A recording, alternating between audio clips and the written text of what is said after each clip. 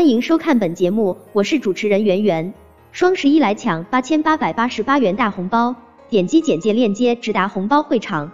近日，八十七年版《红楼梦》中，薛宝钗的扮演者张丽在个人社交平台上晒出了自己与林黛玉、陈小旭的旧照，两人的状态都非常好，引起了人们的热议。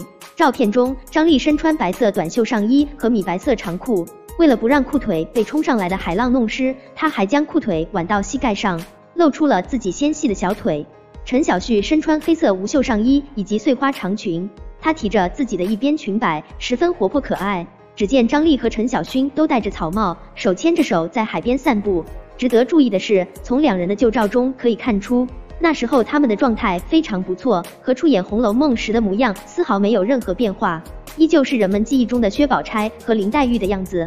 张丽和陈小旭因共同参与《红楼梦》的拍摄而结识。两人在剧中分别扮演了病如西子胜三分的林黛玉和唇不点而红、眉不画而翠、脸若银盆、眼如水性的薛宝钗。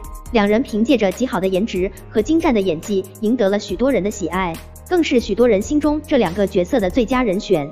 张丽和陈小旭也是从那时开始成为了亲密无间的好闺蜜，他们时常一起外出游玩。这次张丽发布的旧照也是两人在海边散步的时候拍下来的。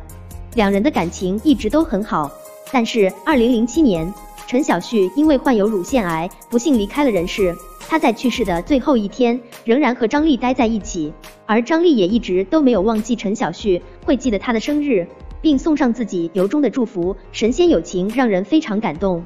如今，距离《红楼梦》的播出已经过去了三十四年，即使张丽晒出的是两人的旧照，但是照片中两人的状态依旧惊为天人。一下就将人们的思绪拉回到了那个《红楼梦》播出的年代，二人塑造的林黛玉和薛宝钗永远铭记在网友们心中。点赞了吗？关注了吗？谢谢。